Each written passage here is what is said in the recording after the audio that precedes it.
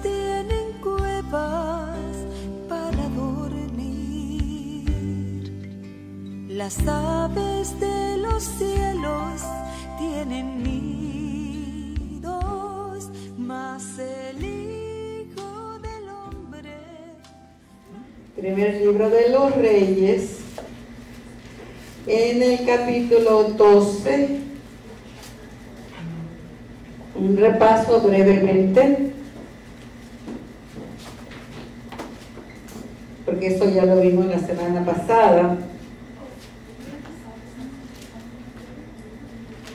Ok. Vemos cómo Roboam recibió un reino, un reino dividido prácticamente ya, porque Dios ya había dado la sentencia.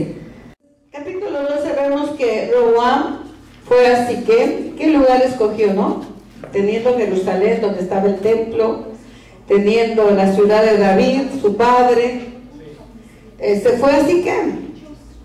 Siquem es un buen lugar.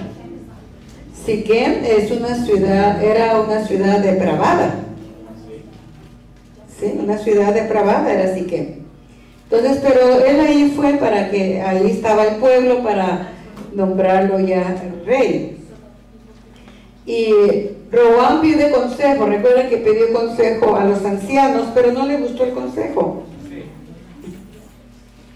Qué triste cuando pedimos consejo y no nos gusta el consejo, porque no es lo que queríamos escuchar de parte de Dios. Y entonces vamos a, con otras gentes hasta que nos digan lo que queremos escuchar. ¿Se da cuenta qué triste eso? Roboam hizo eso. Eh, le dijo, los ancianos, ¿se acuerdan del consejo, hermanos? Estos estudios, ¿se acuerdan del consejo que le dieron los ancianos a Roboam? ¿Que fuera qué? ¿Quién dijo misericordioso? ¿Quién dijo misericordioso? Yo oí misericordioso, pero hubo algo más antes de la misericordia. Muy importante. ¿No le gustó? Vamos a ver. Y ellos hablaron diciendo, ve el verso 7.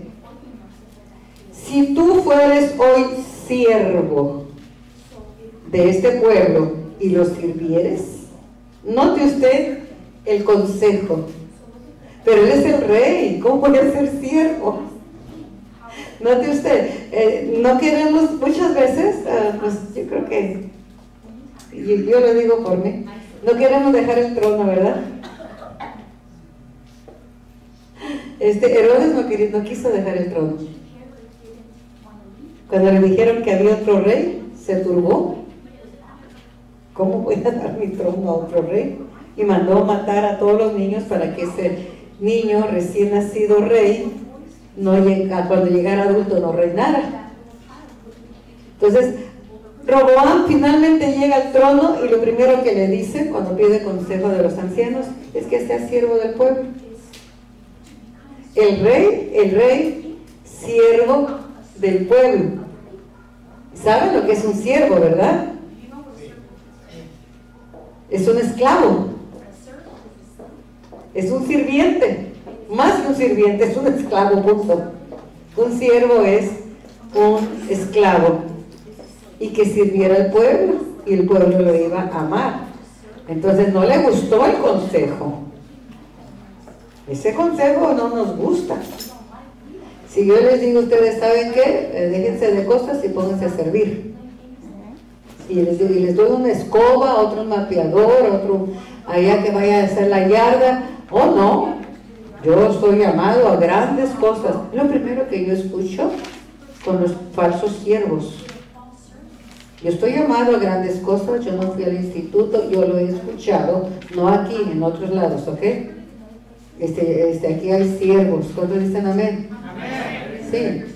Yo no fui al, al, al, instituto para yo, yo fui al instituto para ponerme corbata y predicar. Esto, esto, esto es lo último. El Señor Jesús no, este, lo hemos escuchado de labios del hermano José Ángel. Él no fue predicador, él fue maestro. Pero hoy día los siervos eh, queremos ser predicadores nada más. ¿Aló? ¿Aló? Y mira el consejo que le dan los ancianos.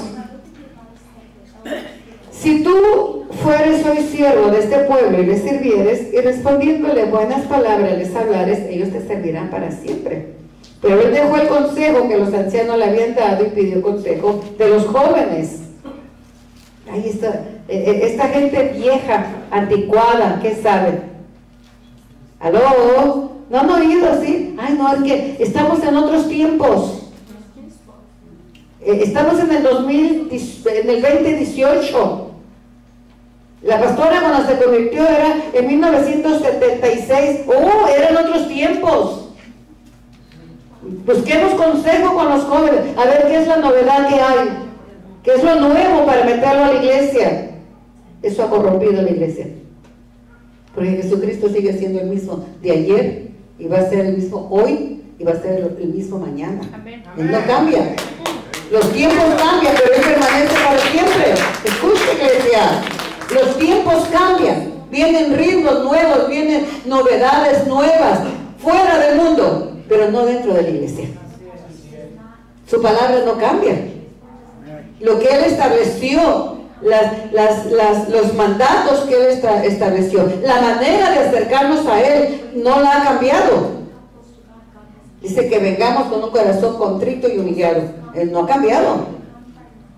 ¿Qué quiso hacer David cuando, cuando quiso llevar el arca a Jerusalén en una carreta, en algo nuevo? Una carreta era algo nuevo. Ah, no, y ahora, eh, qué anticuados, llevar el arca en los hombros. No, no, no, no, no, ahora ya hay carretas. Eh, pongamos el arca en la carreta. ¿Y qué pasó? Hubo muerte. Dios no cambia sus métodos. Él permanece para siempre. Él, no lo vamos a hacer cambiar de manera de pensar porque estamos en el 2018. No lo vamos a hacer cambiar de opinión. Él ya lo estableció. Y esto así es, amén, dice amén, y, así es. Así es que a, eh, Roboán, perdón, no le gustó el consejo de ser siervo. Entonces pide consejo a los jóvenes, ¿se recuerda? ¿Y qué le dijeron los jóvenes? En el verso 8, no hagas como el pueblo te dice, pones más carga. Y, y si tu padre los azotaba, compara tú con escorpiones. Oiga, qué tremendo. Así es que, y dijimos que a esto se le llama consejo de compra, ¿verdad? Yo quiero consejo, pero es como ir a la tienda. Yo escojo lo que yo quiero llevarme. Yo no voy a la tienda y, me paro y me dan lo que, lo que ellos quieran darme, ¿verdad que no? Por eso se llama consejo de compra. Este, aquí él, él prefirió el consejo de compra. Él escogió lo que él quería seguir, quería escuchar, no lo que Dios le dijo, no el consejo sabio de ser siervo del pueblo, sino que el otro, de ser un capataz con mayor rigor. Note usted, es que yo soy el rey, van a saber quién soy yo. No, Señor, esto no funciona así. Entonces el, reino se le dividió, ya había profetizado el Señor, le había hablado, este, el reino se, se le dividió, Roboán fue necio, eh, no habló con sabiduría y el reino se dividió, ya sabemos las razones por lo cual el reino se dividió se dividió por el pecado de Salomón y ahora por la necedad de, de Roboam. Pero si él hubiera andado en los caminos de su padre David, el reino hubiera permanecido en sus tiempos. Qué tremendo, ¿verdad? Qué tremendo no permanecer en los caminos del Señor. Eso es repaso, ya lo vimos la semana pasada. Eh, Roboam fue rechazado y el reino se le dividió. ¿Cuántas tribus quedaron en el norte? ¿Cuántas tribus? A ver, ah, diez tribus. ¿Y cuántas tribus quedaron en el reino del sur? Dos. El reino que era de doce tribus se dividió en, dos reinos. Reino del norte con diez tribus, el reino del sur con dos, con diez tribus y dos al sur.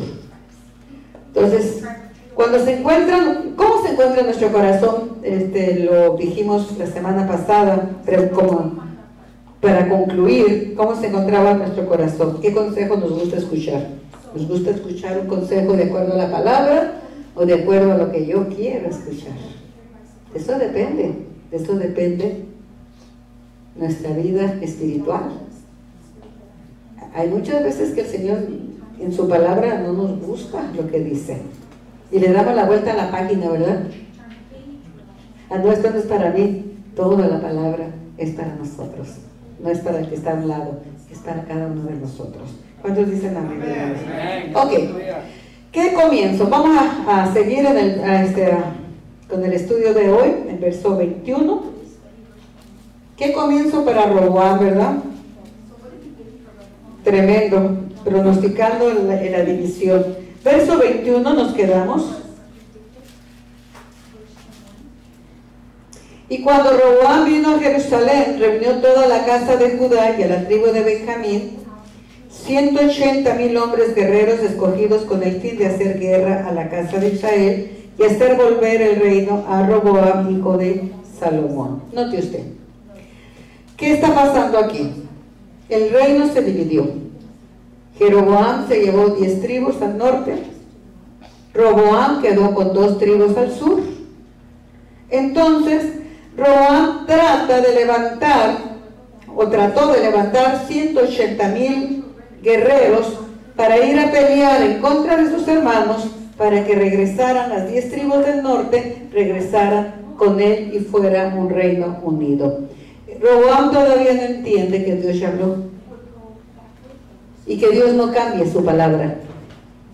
Dios no va a cambiar de manera de pensar. Dios dijo, el reino se va a dividir. Ahora Él quiere levantar gente que vayan a pelear con los del reino del norte para que regresen al reino del sur. No diga que necedad. Pero aquí aparece en el verso 22 un personaje que no va a aparecer una sola vez y no lo va a volver a ver nunca más. Pero vino palabra de Jehová a quién, hermanos? Semaías, varón de Dios, diciendo, habla Roboam, hijo de Salomón, rey de Judá, y a toda la casa de Judá y de Benjamín, y a los demás del pueblo, diciendo, note lo que el Señor Jesús va a hablarle a Roboam a través de, de un siervo de nombre Semaías. Y mire lo que dice el consejo de la palabra de Dios. Así ha dicho Jehová no vayáis ni peleéis, peleéis contra vuestros hermanos, los hijos de Israel. Vuélvase cada uno a su casa, porque esto lo he hecho yo, dice el Señor. Y ellos oyeron la palabra de Dios y volvieron y se fueron conforme a la palabra de Jehová. Qué buen, qué bonito consejo. No un consejo de guerra, no un consejo de querer forzar algo que Dios no quiere. ¿A cuánto les habrá pasado? A mí me ha pasado muchas veces que quiero forzar algo que Dios no quiere. Y nomás me gasto las fuerzas, me desgasto y no va a ocurrir porque Dios no quiere. Ninguno de nosotros podemos añadir un codo a nuestra estatura. Por más que me estiro,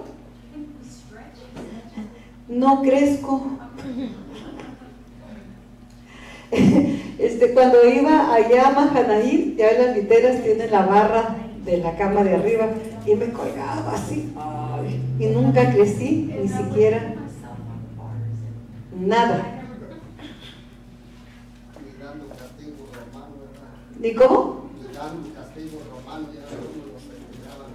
Nada, por más que nos estiren, no podemos cambiar lo que Dios ya determinó. Dios ya determinó y no lo podemos cambiar. Hoy con los tintes, dice, eh, eh, eh, alguien dijo, pues hoy sí podemos. Dice, tampoco puedes cambiar tu pelo blanco en negro. Y luego alguien dijo, pero hoy hay tinte, sí, pero pues al rato sale otra vez, no se puede cambiar. Y hasta nos vemos bien raros. Con toda la línea blanca y lo demás negro, negro. No podemos cambiarlo, amados. Ya Dios había hablado. Y mire qué, qué consejo tan lindo, qué, qué oportuno que el Señor envía gente tan linda como Semaías, un varón de Dios, para que hiciera desistir al pueblo, para que el pueblo no fuera a la guerra en contra de sus hermanos. Y ellos escucharon y regresaron cada cual a su casa. Jeroboam reedificó a Siquem en el monte de Efraín y habitó en ella.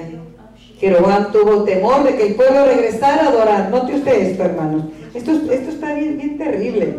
Él tuvo miedo de que el pueblo regresara y se le hizo dos, dos, dos templos.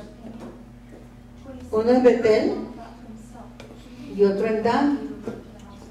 Porque el templo para adorar estaba en el reino del sur, el templo en Jerusalén. Y él tenía miedo de que las tribus bajaran al sur a adorar y ya se quedaran en el reino del sur. Entonces dice, ok, les voy a hacer su templo. Y bien cómodo. Note usted, póngale atención a esto. Les hizo su templo y les puso dos becerros en las puertas. Supuestamente lo que él pensó es que esos becerros eran para que Jehová Dios ahí se reclinara. Pero el pueblo ya venía afectado. El pueblo en tiempo de Salomón ya tenía su corazón inclinado a la idolatría. Al ver los becerros, porque él dijo algo más, vayamos a ver lo que él dijo. En Éxodo 32, 4. Vamos a ver, él mencionó algo. Mencionó una escritura. Oiga, qué tremendo levantar idolatría y usar la Biblia. Cuando queremos levantar algo falso y queremos que nos crean, hay gente que se apoya en las escrituras. Satanás lo hizo. Satanás engañó y citó las escrituras. Este Jeroboam levanta un dos templos rivales y, pone becerros porque tiene miedo que el pueblo regrese a Jerusalén y lo maten, pero se olvidó de algo Jeroboam, que Dios le había entregado las diez tribus, se olvidó de eso, que Dios se los entregó. Jeroboam pudo haber afirmado su trono en base a la obediencia a Dios. No tenía que hacer nada para traer al pueblo. No tenía que levantar nada. Dios ya había hablado. Pero él quiso ayudar, ayudar a su trono, ayudar a su reino, a que se afirmara. Nada puede ayudar a afirmar un trono, solamente la obediencia a la palabra de Dios. Si queremos nosotros afirmar nuestra casa, queremos afirmar la iglesia, queremos afirmar nuestra vida espiritual, nada, no hay nada que le podamos ayudar. Solamente hay algo que debemos de hacer nosotros y eso es obedecer la palabra de Dios. Es todo. No hay nada, hermanos. No hay nada que podamos hacer nosotros. Hay gente que quiere ayudar. Hay gente que dice, yo me voy a ganar el cielo y voy a hacer esto y voy a hacer lo otro. Nada podemos hacer, amados en Cristo. Lo único que Dios espera de nosotros para firmar nuestra vida espiritual, para firmar los cimientos de nuestra fe cristiana, es la obediencia. La obediencia a su palabra. Eso es todo. No importa cuántas maromas hagamos. Nada, nada va a reemplazar la obediencia a la palabra de Dios. ¿Cuántos dicen amén? Los oigo muy calladitos. Vamos a ver qué, fue lo que, lo que citó Jeroboam 11.38 del Éxodo, perdón, Éxodo 32.4. 32.4. Mira lo que citó él. Alabado sea el nombre de Jesús.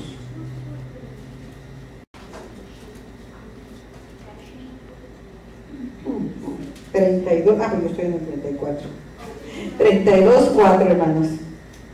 Dice, Y él los tomó de las manos de ellos y, y les dio forma con buril e hizo de ello un becerro de fundición. Entonces dijeron, Israel, estos son tus dioses que te sacaron de la tierra de Egipto. ¿Qué está pasando aquí en el Sinaí?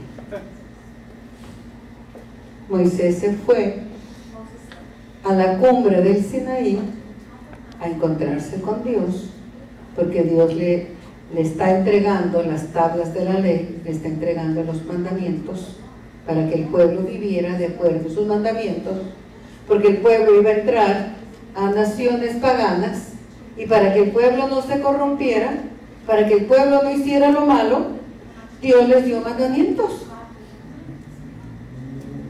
Y Moisés tarda. Moisés tuvo 40 días en el Sinaí y el pueblo está acá abajo y dice el pueblo a ese Moisés a saber qué le pasó. Hagámonos un Dios y vamos a adorarlo para que regresemos a la tierra de Egipto. Moisés, en la presencia de Dios, recibiendo los mandamientos para el pueblo, y el pueblo dándole las espaldas a Dios y haciéndose su propio Dios. Entonces fueron con Aarón, que era el sacerdote, pidieron joyas de oro, de plata, de lo que hubiera, se hicieron un becerro de oro, recibieron de las mujeres las joyas, se formaron un becerro y dice, estos son los dioses que te sacaron de Egipto. Misericordia. Jeroboam está haciendo lo mismo. Jeroboam está haciendo un becerro de oro. ¿De dónde sacaron la idea del becerro? Según la tradición, no la Biblia, dice que cuando iban saliendo de Egipto, que las nubes vieron un- una forma de becerro y que ese era el Dios que los iba guiando. Vieron el mar que se abrió, vieron las señales de Egipto, vieron que Dios destruyó Egipto para sacarlos y le están dando, a Dios le están dando forma de becerro. El hombre siempre tiene la tendencia a adorar lo que puede ver, pero Dios es espíritu. Dios no se ve, pero Él, su presencia está con nosotros y dejó su palabra. Y en Cristo vimos la gloria de Dios. Y Cristo es la palabra encarnada. Él, a través de su palabra, podemos conocer a Dios. No ocupamos una imagen para conocer a Dios. Ve, hacer una imagen es idolatría. Y la idolatría es ofensa a Dios. Porque Dios, a Él no se le puede ver. A Él no se le puede comparar con ninguna cosa creada. ¿A quién se le ocurre ponerle forma de un becerro? Jeroboam, amado, le vuelvo a repetir, pudo haber afirmado su trono en base a la obediencia y no dirigir al pueblo a la idolatría y no pidió consejo a nadie para hacer el becerro. Él se aconsejó a sí mismo.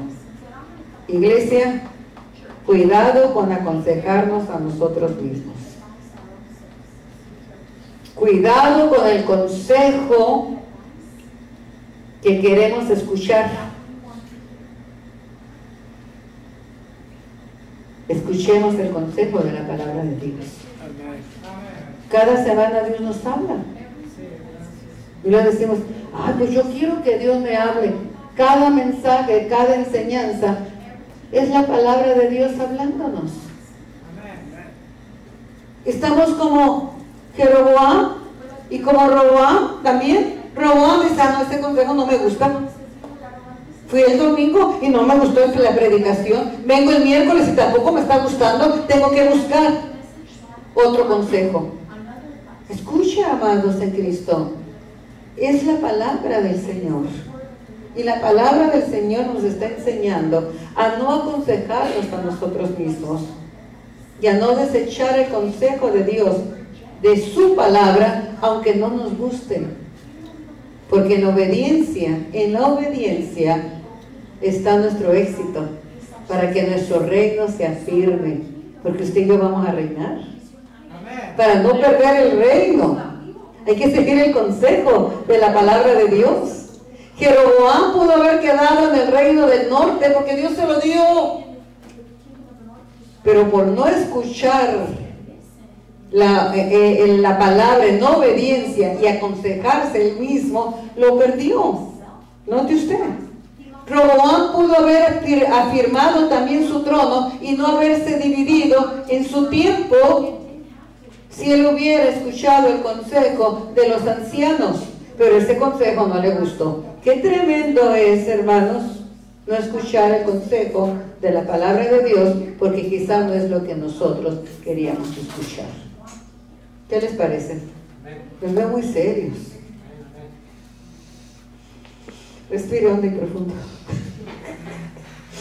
Agarre aliento. Quiero oírlos. ¿Qué piensa usted de esto? Es que Dios me habla. Vamos a ver algo sobre eso también. El capítulo 13, yo hacía tiempo que lo había, y una vez lo comenté con Perla. Perla, yo me horrorizo, le digo, de este caso del capítulo 13, que vamos a llegar para allá. Cuando decimos, Dios me habló.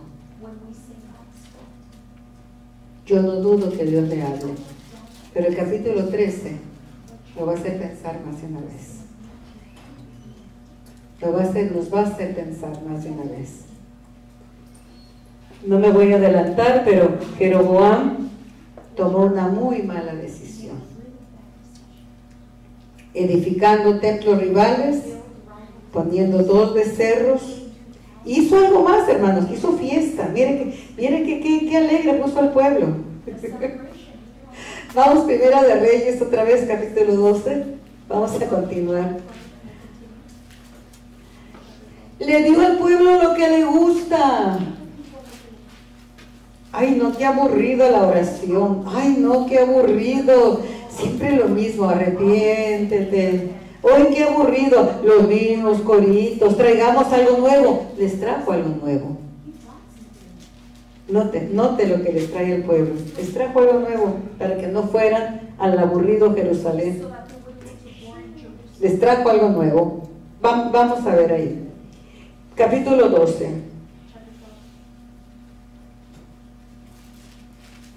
Y vamos en el 24, ¿verdad? Verso 27. Si este pueblo subiere ofrecer sacrificio en la casa de Jehová en Jerusalén, porque el corazón de este pueblo se volverá a su señor Roboam, rey de Judá, y me matarán a mí, y se volverán a Roboam, rey de Judá. Y habiendo tenido consejo, pero consejo de quién? Hizo el rey dos becerros de oro y dijo al pueblo, bastante habéis subido a Jerusalén, he aquí tus dioses, oh Israel, los cuales te hicieron subir de la tierra de Egipto lo mismo que ya leímos que dijo Aarón, ¿se recuerda? Y esto fue causa de pecado porque el pueblo iba a adorar delante de uno hasta Dan. Era tanto la idolatría que no se conformaron en adorar en Betel. Caminaron hasta Dan, hasta el norte. Fíjense, ya adoramos aquí, pues vamos también al otro becerro, ¿no? ¿Se da cuenta? Y puso uno en Betel y el otro en Dan. Verso 30. Y esto fue causa del pecado porque el pueblo iba a adorar delante de uno hasta Dan. 31. Hizo también casas sobre los lugares santos. Aparte de los dos templos, hizo, digamos, capillas, vamos para que nos entienda usted, casas. Si no puedes llegar al templo, pues en esta casa adora. Note, fíjese lo que está haciendo Jeroboam, ¿eh? poniéndole fácil al, pueblo. Quédate, quédate ahí, mira, donde te quede más cerca, ahí adora. Mira lo que está haciendo. Está poniendo comodidad al pueblo. No te esfuerces en ir a adorar a la iglesia. Aquí hay un lugar más cerca para ti. Qué tremendo. Note usted. Escuchen. Ok, ¿dónde vamos? Hizo también casas sobre los lugares santos e hizo sacerdotes de entre el pueblo que no eran de los hijos de Leví. Dios había ordenado que únicamente de la tribu de Leví se podía ordenar sacerdocio. Había levitas con él. La tribu de Leví se fue con él, porque se quedó nada más la tribu de Judá y Benjamín. Los levitas están en el reino del norte. Sin embargo, él no toma levitas. Va en contra, en todo y va en contra de la palabra de Dios. Él tomó sacerdotes que no eran de los hijos de Leví. Verso 32. Entonces instituyó Jeroboam fiestas solemnes en el mes octavo, a los 15 días del mes, conforme a la fiesta solemne que se celebraba en Judá. Dice, para que estos no se me vayan de fiesteros, yo les voy a hacer su fiesta. Note usted. Y sacrificó sobre un altar. Así hizo en Betel, ofreciendo sacrificios a los becerros que había hecho. Ordenó también en Betel sacerdotes para los lugares altos que él había fabricado. Sacrificó pues sobre el altar que él había hecho en Betel a los 15 días del mes octavo, el mes que él había inventado de su propio corazón e hizo fiesta a los hijos de Israel y subió al altar para quemar incienso. Él mismo se aconsejó. Él mismo fabricó su religión. Él dijo, no, como va a ir el pueblo allá, y ahorita los pongo cómodos. Note usted, lo nuevo nos puede llevar a la idolatría. Lo cómodo nos puede llevar a la idolatría. Dios había establecido que el pueblo subiera a Jerusalén a adorar. Hay un lugar que Dios establece para nosotros para adorar. No es que este me queda más cerca. No, es que este está mejor. Hay fiestas. Es que aquí está muy aburrido. Nos ponen a adorar.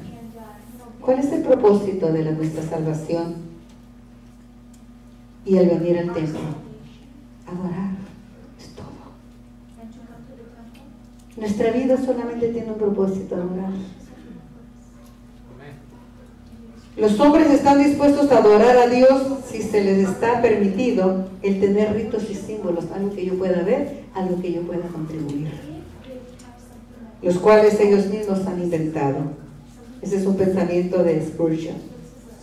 Dice, los hombres están dispuestos a adorar a Dios si les está permitido el tener ritos y símbolos los cuales ellos mismos han inventado.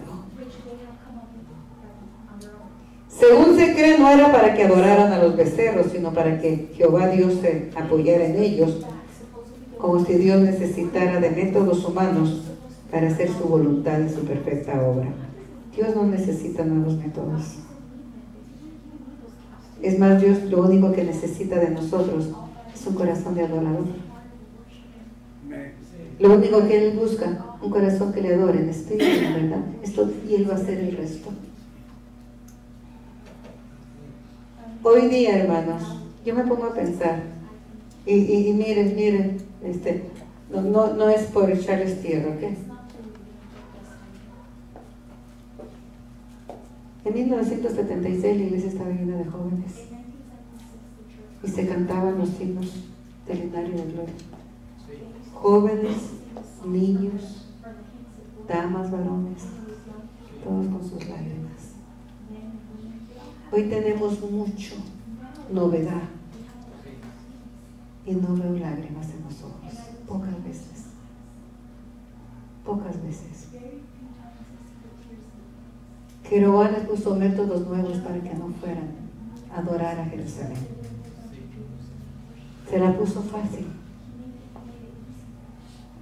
Pero si él solamente hubiera seguido los pasos de David, que era un adorador, Dios lo hubiera respaldado. El éxito de David, a pesar de tanta guerra y de tanta prueba y de tanta persecución y de tanto llanto y de tanto quebrantamiento. En David, su éxito para ser el modelo de los reyes era el corazón de adorador. Es todo. Porque para adorar a Dios cuesta. Y solamente con un corazón quebrado podemos adorar. Cuando estamos quebrantados, Dios nos quiebra. Dios nos quebranta. No nos castiga. No nos no, no está condenándonos. Nos disciplina, nos corrige y a veces nos duele por dentro. Pero Él está formando un corazón de. ¿Cuándo es cuando mejor oramos? ¿Cuando estamos contentos? ¿Cuando nos va bien? ¿Cuando tenemos mucho dinero? ¿Cuando tenemos mucha salud? ¿Cuando estamos en la fiesta? ¿Cuándo es cuando adoramos y venimos a Dios humillados? Cuando estamos quebrados. Cuando hay dolor en el corazón, venimos, Señor, vengo a ti. No tengo más a dónde ir y no quiero ir a ningún otro lado. Por eso David fue un tremendo adorador. Vivió quebrado toda su vida. Traicionado, abandonado. De todo tuvo David. Pero Dios lo tiene en alta estima. Y de David viene su hijo. Vamos en Cristo. No necesita Dios nuestros métodos humanos. No necesita Dios cosas nuevas porque estamos en el 2018. Necesita un corazón de siervo, como le dijo a Roboam, y un corazón de adorador, sin cosas nuevas, sin novedades. Es que hoy hay otras cosas para llamar la atención. No necesitamos llamar la atención de nadie. Dios no usó métodos para llamar la atención. Él solamente habló su palabra. La verdad, arrepiéntete. Es todo. Es todo lo que él habló. Habló del reino. Y habló cómo entrar a ese reino. Con un corazón limpio, con un corazón puro. Es todo lo que él habló. Fíjese que no trajo ningún levita con él. Trajo doce rudos hombres instruyéndolos, y entre ellos un traidor, y entre ellos uno que siempre estaba dudando, y uno que hablaba más que la misma boca que traía, inestable. No traía gente para llamar la atención, trajo palabra de verdad, el consejo que tú y yo necesitamos en el tiempo oportuno el consejo de la palabra de Dios de acuerdo a su corazón y a su voluntad. Amados en Cristo, es todo lo que Dios espera de nosotros. Un corazón rendido a Él y Él va a hacer la obra. Nosotros no podemos hacer nada sin Él. Es todo lo que Él quiere. ¿Por qué no rendirnos voluntariamente? Si Roboam hubiera sido el siervo que Dios pidió, pero no quiso ese consejo. Si Jeroboam hubiera seguido en obediencia a Dios, no hubiera sido deshecho su reino. El reino del norte acabó pronto, 200 años nomás duró. Y fueron dispersas todas las tribus. Todo lo que Dios quiere de nosotros es un corazón de siervo y un corazón obediente. Por más que le busco yo y le busco y le rebusco, el resultado es el mismo, hermanos. Corazón de siervo y obediencia. No encuentro otro, viene la escritura. No encuentro. Porque yo quiero otro, traer otro mensaje. Pero este es el mensaje, el mensaje toda la Biblia. Encuentro el mismo mensaje. Arrepentimiento y obediencia. Corazones de siervos, es todo. Así, hermanos, en otras palabras, Él hizo toda una religión a su gusto. Puso en la iglesia, en los templos, lo que a Él le gustaba. Y esto no se trata de gustos propios. que a mí me gusta esto? Se trata de lo que Dios ya estableció en su palabra. Y esto no es nada bueno. Hay gentes que andan buscando una religión que se acomode a sus propios gustos.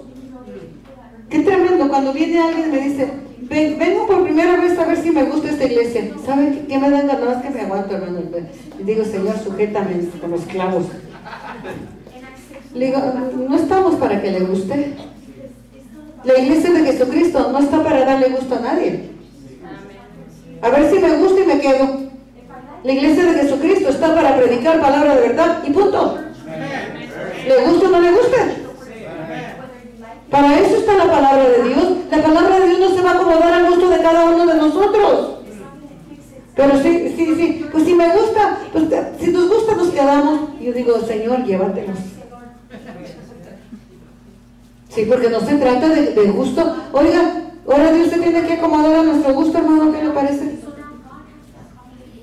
No, es la palabra es la palabra. Yo me tengo que acomodar a la palabra de Dios, no Dios a mi gusto. Yo soy la que tengo que acomodarme porque mi vida está torcida. Tengo malos hábitos, tengo malas costumbres, tengo mal carácter, tengo que acomodarme a la palabra de Dios. Y no que la palabra de Dios se acomode a mí. Miren qué tremendo. Yo, yo cuando lo oigo nada digo, Señor, llévate a los padres, por favor, porque anda a ver si le gusta la iglesia. Y Jeroboam dijo, bueno, pásenla bien, les voy a dar un lugar donde adorar, sin tener que ir allá donde está tan aburrido en lo que Dios estableció, les voy a dar placeres, fiesta, música, para que sus corazones se alegren.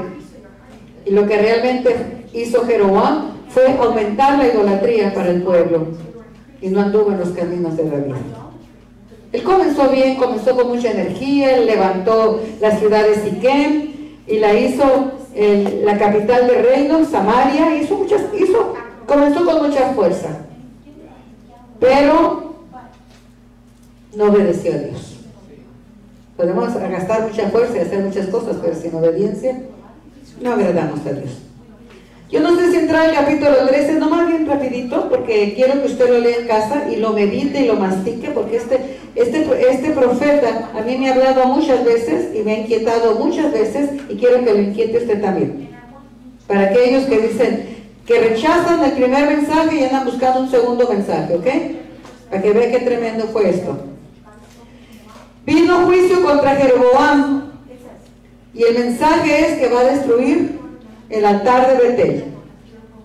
El profeta pronunció juicio. Miren, ni siquiera se nos da el nombre del profeta en el capítulo 13. Nomás dice que era un varón de Dios.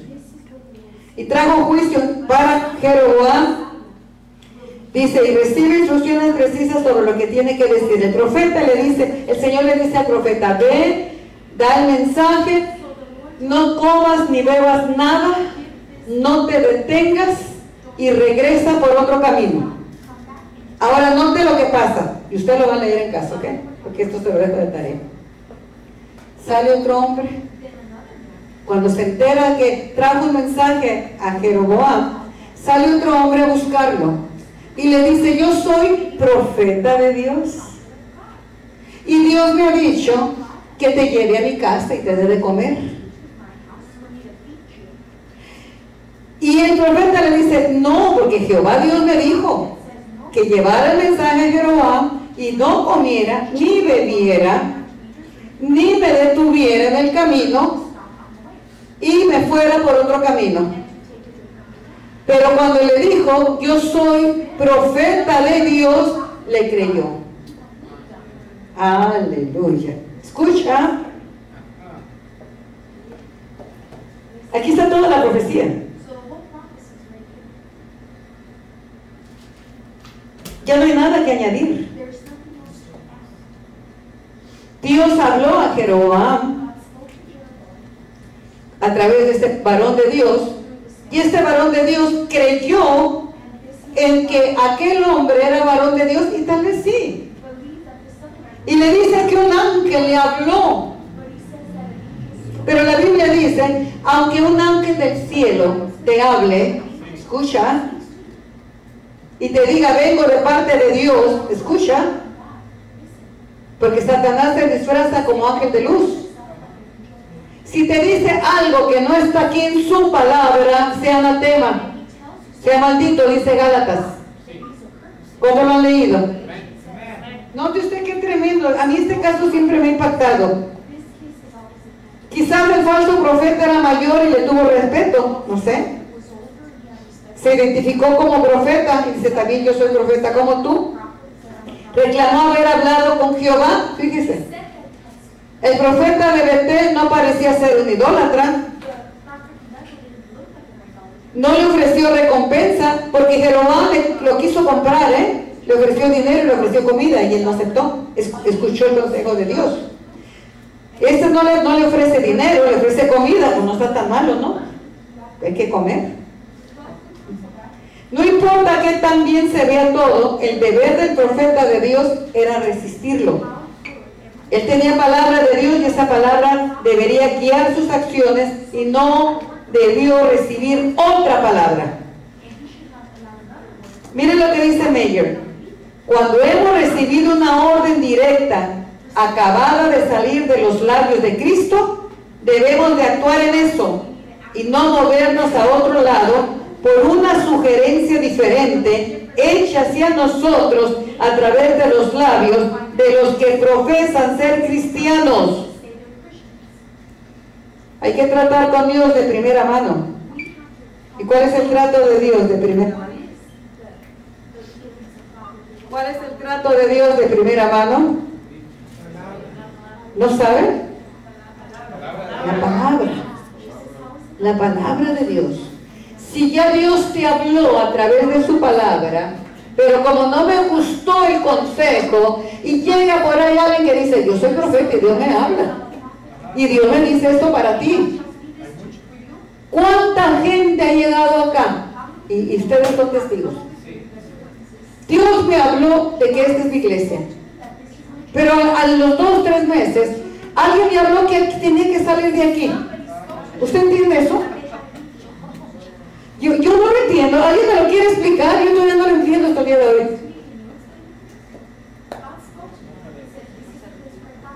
Dios no se arrepiente de lo que Él habló primero. Dios no es hombre para que se arrepienta. La palabra que Dios nos da a través del mensaje, del consejo, de su palabra, esa debo de tomarla y no el consejo negativo que diga que yo soy profeta, yo tengo otro mensaje para ti, no escuches eso, eso no es para ti, eso no viene de Dios, cuando viene de la palabra de Dios, de mano directa de Dios. ¡Qué tremendo! Yo he escuchado, cuando nos movimos de la Harrington a, San Paul, a mí, Dios no me habló, a mí Dios me habló que yo no me tengo que ir para allá. Miembro de la iglesia. Nada más nos cambiamos. Sigue siendo la misma iglesia. Y que Dios no le habló, pues tenía que hablarle a Dios de que tenía que moverse. Si como congregación caminamos juntos, y a donde se mueve uno nos movemos todos, porque hay unidad. Porque los los seres vivientes, donde se mueve uno, se mueve el otro, porque hay unidad del reino de los cielos. Y dice que se volteaban unos, se volteaban todos. Caminaban hacia adelante y todos caminaban hacia adelante. Caminaban hacia atrás y todos caminaban hacia atrás. En el reino de Dios hay unidad. En la iglesia se supone que también ese es el reino de Dios. La iglesia es el reino de Dios aquí en la tierra. Debe de haber unidad. ¿Cómo voy a aceptar el consejo profético de alguien que me dice, el Señor te quiere mover? Entonces tenemos que movernos todos. ¿Aló? ¿Aló, iglesia? Ah, es que, es que allí no estoy creciendo. Cuando obedezcas vas a crecer. Cuando obedezcas la palabra del crecimiento espiritual viene la obediencia. No hay que tanto tengo en la cabeza, que tanto obedezco de lo que tengo en la cabeza, que ya he aprendido. Eso trae crecimiento. Crecimiento espiritual viene por la obediencia a la palabra de Dios. ¿Cuántos dicen amén? Siga leyendo el capítulo 3 en casa, porque este profeta a mí, hay mucho más, fue devorado por un león. Fue, fue tremendo su muerte, ni siquiera lo, lo pudieron sepultar. Fue juicio de Dios por no haber atendido la palabra directa de Dios. Escuche, por no haber atendido la palabra directa de Dios y haber escuchado a otro profeta, ni siquiera tuvo una sepultura.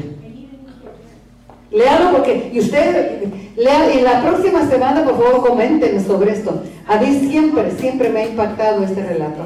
Digo, Señor, qué tremendo. Y era profeta de Dios. El varón que lo, que lo trajo. Sí era. Sí era un profeta de Dios. Pero él tenía que haber tomado la primera, de primera mano, la palabra de Dios. No de segunda mano. Cuidado, hermanos, ¿eh? Porque hoy estamos llenos de profetas. Cuidado. Aquí está lo que tú quieres saber. Aquí está la respuesta a tus necesidades y las mías. Aquí está el consejo de primera mano de parte del Señor. Tengamos cuidado. Mucho cuidado. Porque Satanás sabe engañar. Y aún aquellos que se dicen profetas. Porque se sabe disfrazar de ángel de luz. Él sabe disfrazarse. Puede parecer como un ángel de luz, pero hay que ir a la palabra de primera mano, porque aquí no hay equívoco. Usted puede estar pensando que no cree en la profecía, sí, pero no hay nada nuevo escrito. Apocalipsis termina con un amén, así sea, y un punto ya no puede haber nada nuevo. Es que Dios me habla directamente a mí. Escudriña primero la palabra. No somos tan especiales como para que nos hable directamente. Sí nos habla, pero conforme a su palabra, nunca contra de su palabra. Hay un orden, hay un orden divino. Dios nos habla por sueños. Yo creo eso pero hay que escudriñarlos.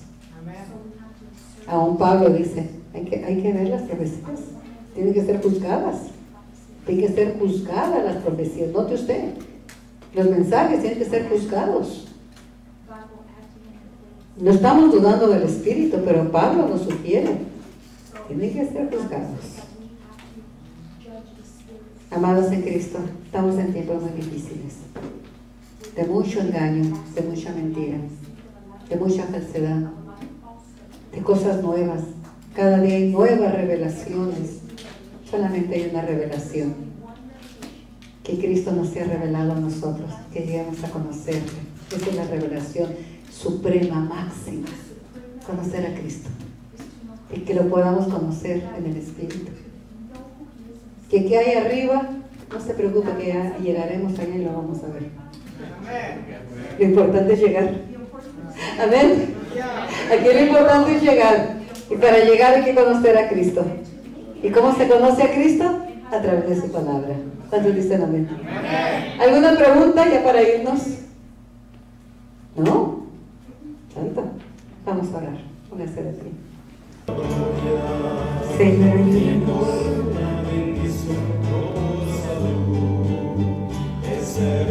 Ayúdanos a amarte.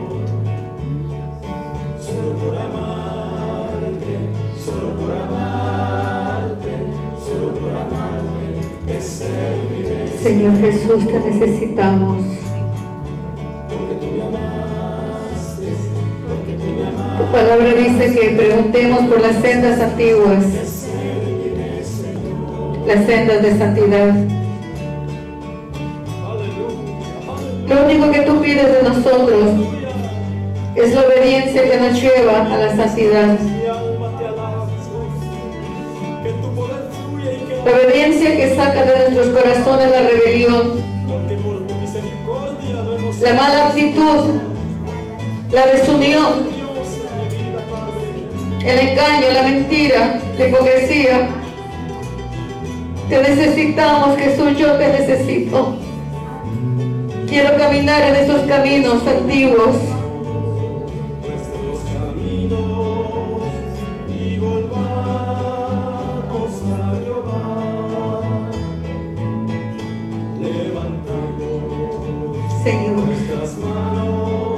Señor Jesús.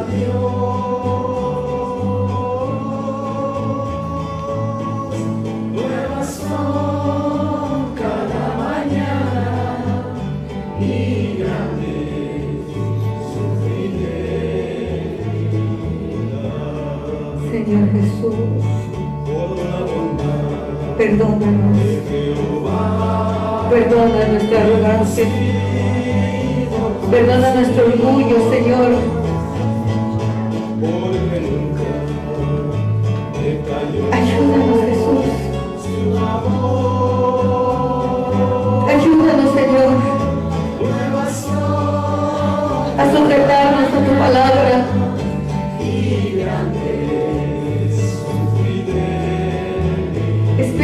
Santo, ayúdanos a hacer tu voluntad y no la nuestra. Gracias. Gracias con nosotros. Ayúdanos a ser como tú, Señor, obediente hasta la muerte. Danos un corazón arrepentido, un corazón de siervos, corazón humilde, que tiemble ante tu palabra, que pregunte por las sendas antiguas, las sendas de santidad, para transitar en ellas, para caminar en ellas. En el nombre de Jesús. Gracias, mi Señor. Gracias, Jesús. Gracias, mi Señor. Ayúdanos, Jesús.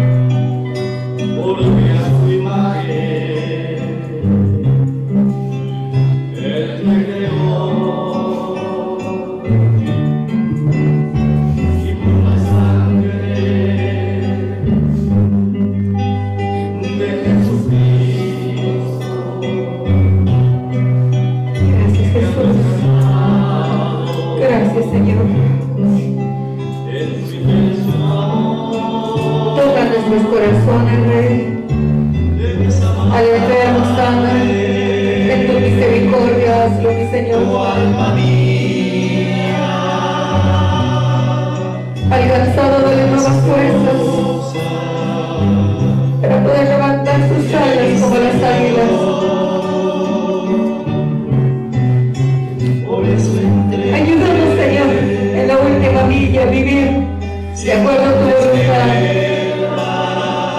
a no dejarnos llevar por las novedades.